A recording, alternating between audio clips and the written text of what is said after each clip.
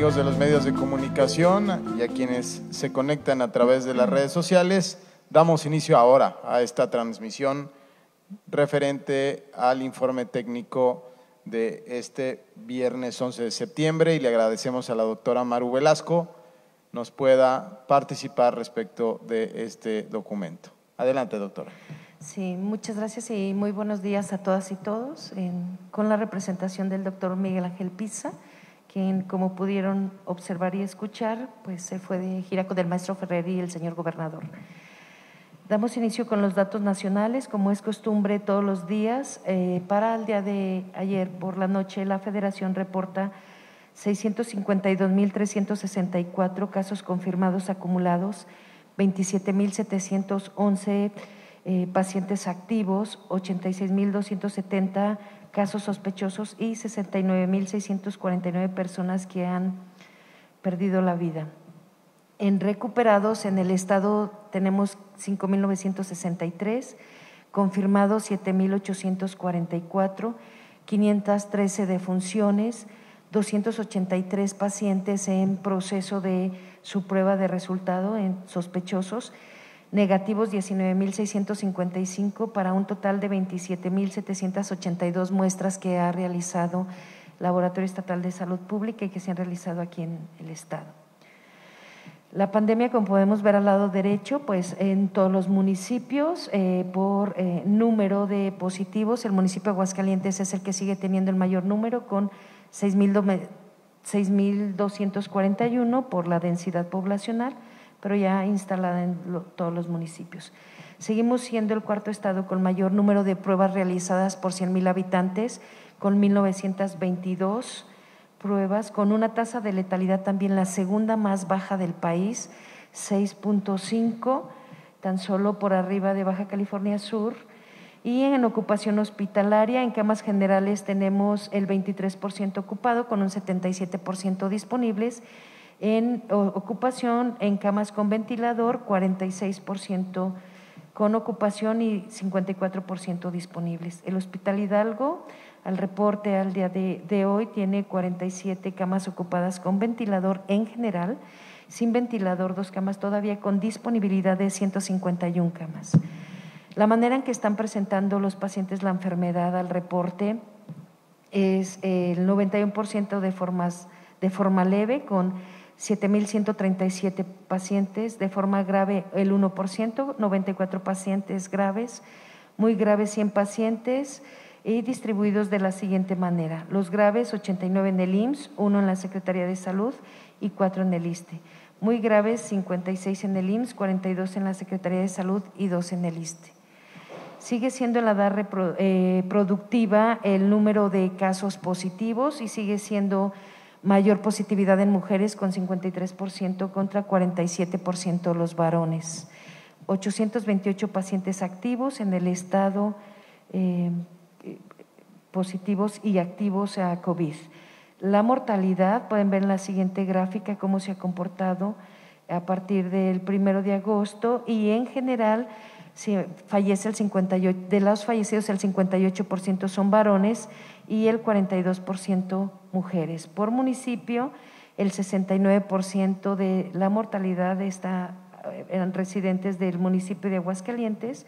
Por derecho a biencia, el 67% en el Instituto Mexicano del Seguro Social, el 21% no tenía ninguna seguridad, el 12% ISTE. Por grupo etario, la mayor mortalidad la encontramos en en personas de mayores a 60 años, de 60 a 84 años es donde tenemos la mayor mortalidad.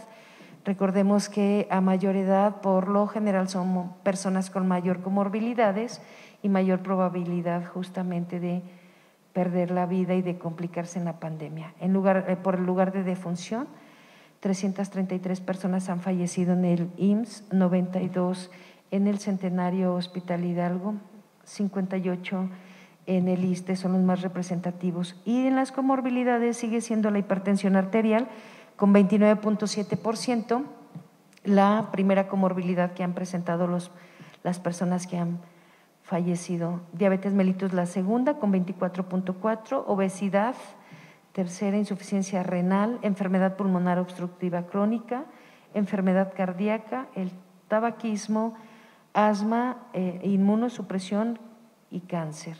Las siguientes tablas son los pacientes, los casos positivos de cada día y quedo abierta a preguntas si así se requiere. Muchas gracias. Muy bien, si nos hacen el favor de pasar las preguntas.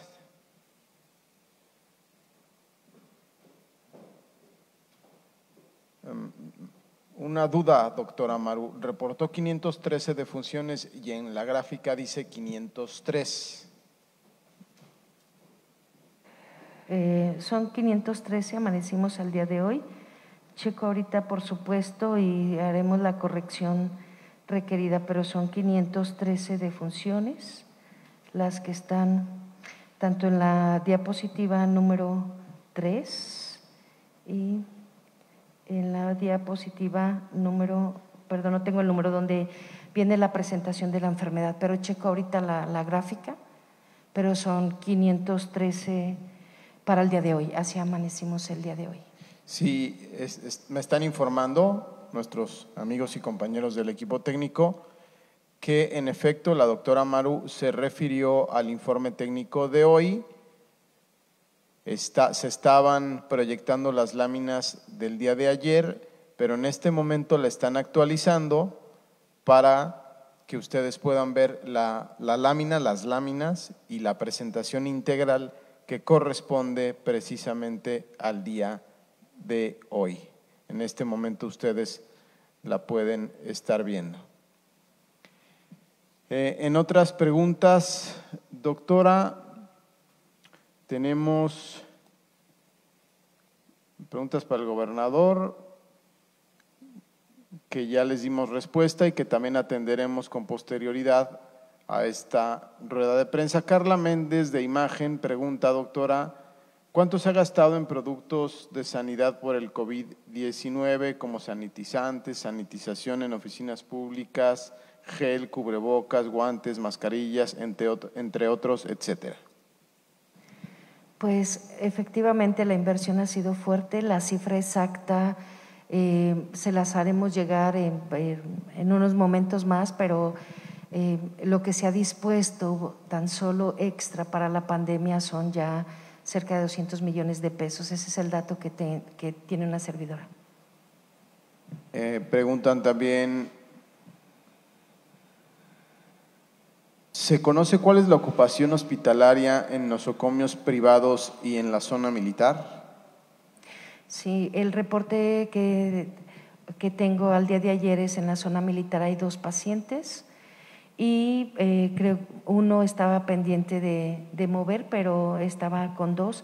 Y en la privada es dependiendo cada privada, pero el último reporte que tengo de eh, una privada que está hacia el norte es de ocho pacientes hospitalizados. Ellos emiten también reportes. Recordemos que es una enfermedad eh, eh, móvil, solamente aquellos pacientes que requieren ventilación asistida son los que permanecen mayor tiempo hospitalizados, pero se está moviendo día a día la ocupación hospitalaria. Miriam Loera pregunta, ¿la vacuna contra la influencia protege de alguna manera o minimiza los síntomas y complicaciones del COVID? No, no hay vacuna eh, que sea hasta hoy efectiva. Como sabemos, están en fase 3 algunas vacunas eh, para el COVID-19.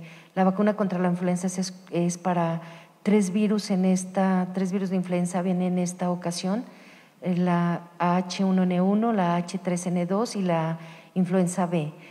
Eh, lo que pretendemos con esta vacunación masiva que se está promocionando y para terminar en el mes de diciembre es justamente que no se nos junte en una misma persona la enfermedad por los dos virus, por COVID y por influenza, que les bajemos el riesgo de la influenza, pero no, no protege contra la influenza. ¿Cómo saber si alguien es vulnerable a hepatitis C? Ah, por clínica eh, los pacientes, la manera de transmisión de la hepatitis C Tenemos pacientes que llegan con, eh, a nosotros a consulta, hacemos una historia clínica, por supuesto dirigida, y tenemos con este, proyecciones que se han realizado aquí en el Estado, pruebas rápidas para detectar si el paciente tiene hepatitis C o no. Se hace una prueba rápida, muy similar a la que hacemos al VIH. Si sale reactiva, se tiene que hacer una confirmatoria con eh, pruebas, eh, cargas virales y bueno, si sale eh, positiva en cargas virales, iniciamos todo el protocolo de atención y el tratamiento. En el caso de Aguascalientes es aquí en el Centenario Hospital Miguel Hidalgo, en donde está, en donde se atienden los pacientes con hepatitis C. Este año hemos detectado de esta forma a cinco pacientes, los tenemos reactivos, están en proceso sus cargas virales. El próximo martes tenemos paciente al que se le va a hacer cargas virales e iniciar el tratamiento. Como lo eh, eh, estipuló hace unos momentos el maestro Ferrer, la federación envió medicamento a los estados para eh, tratar estos pacientes con hepatitis C. Entonces ya está aquí y empezamos a trabajar. el próximo martes, como les comentaba, tenemos el, el primer paciente que les vamos a hacer las cargas virales. Eh, hay una pregunta que plantea cómo saber si alguien es vulnerable a hepatitis C. Eh, ¿Llega paciente? Sí. Paciente a nuestras instituciones lo interrogamos con cuadro clínico compatible con enfermedad o datos de, hepatitis. Recordemos que hepatitis es inflamación, este, eh, el término itis es la inflamación de las células del hígado y el cuadro clínico completo. Eh, en el hígado por, este, se procesan parte de las bilis, entonces puede ser un paciente que se nos ponga amarillo, un paciente que ha perdido de peso, un paciente que puede tener fiebre y lo tenemos que hacer la prueba, la historia clínica dirigida, identificamos estos, eh, este cuadro clínico que tenga el paciente y hacemos tira rápida para ver si es reactivo o no. ¿Cuántos residentes médicos hay en la actualidad en Aguascalientes? Eh, el dato lo pasa, se los paso un poco más adelante, no, no tengo la cifra aquí conmigo.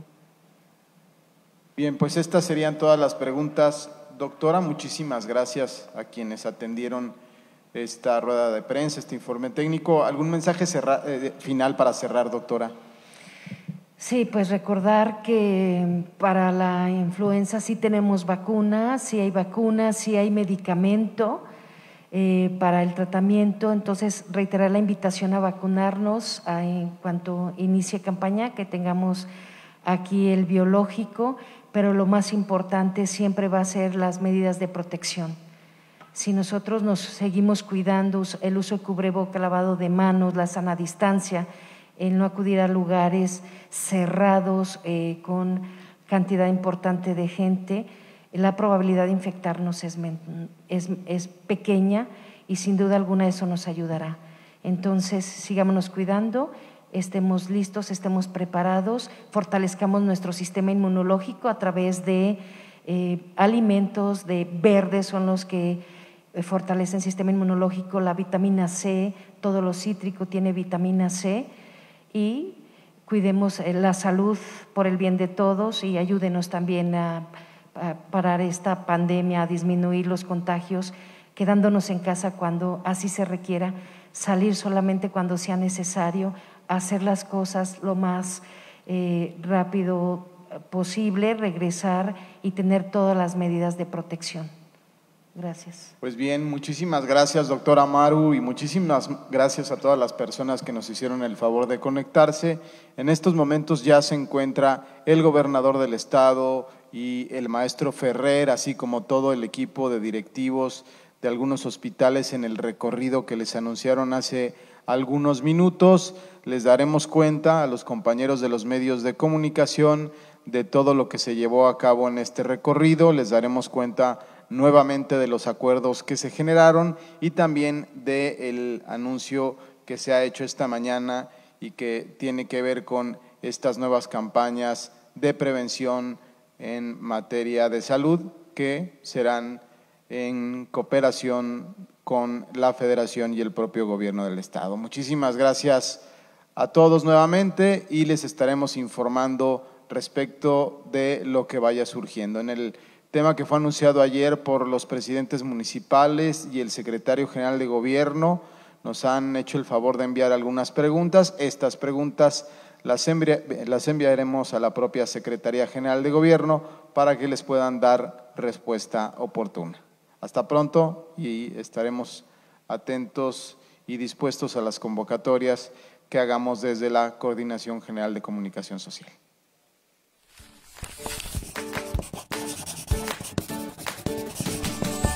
¡Hey! Se te está olvidando algo.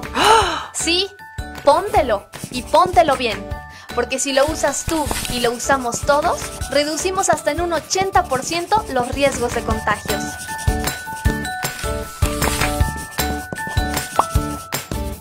Y así te cuidas tú y la cuidas a ella y a él y a ellos. A partir de hoy es un deber ciudadano. De veras, está en el decreto oficial. Así que ponte el cubrebocas, el que quieras, pero póntelo bien. Y por favor, dile que se lo ponga. ¡Ay, no olvides seguir los protocolos! Ya te la sabes. La Guardia Sanitaria somos todas y todos.